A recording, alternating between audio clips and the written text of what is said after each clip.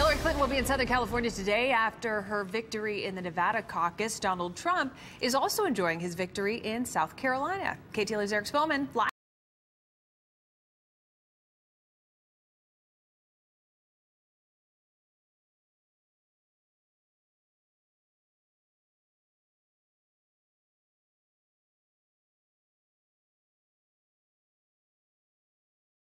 Tribute honoring legendary director James Burrows aired last night. Take a look at how the cast of Friends incorporated their missing cast member.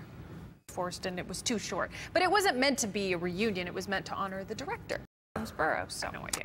Uh, 527 is the time. Coming up, some serious sand erosion at our local beaches. A manhunt is underway in a deadly road rage stabbing in Silver Lake. Police found the 20. A Florida woman was severely beaten, allegedly by a roommate that she found on Craigslist. There's a warning to viewers. Some may find this video disturbing. 23-year-old Danielle Jones remains in a coma seven days after being attacked. The victim Now he wants $30 million to reopen the road. Tech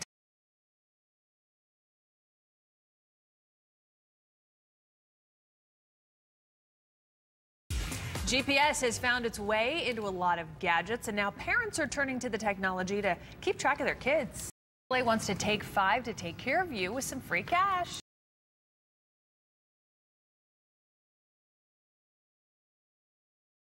Been playing the scratch off lottery for years without winning much until they hit the $6 million jackpot.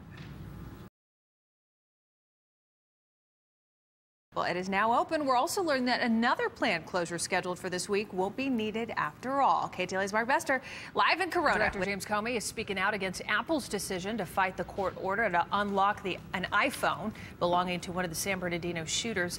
In a blog. All right, Henry, thank you. 612 is the time still ahead. A walk in memory of a one-year-old girl. Ginger, thank you. Still ahead, breaking news and a disturbing discovery why a popular hiking trail is off limits this morning. Year-old baby girl is being remembered after she was hit in the head with a bullet while she was in her crib. The Compton community CHP is trying to track down motorists who are pulling off dangerous stunts on the San Francisco Bay Bridge.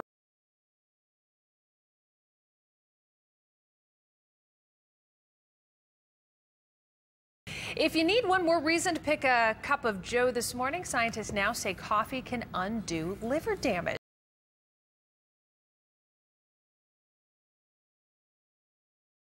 All right, this Friday you can celebrate Brazilian Carnival right here in Los Angeles.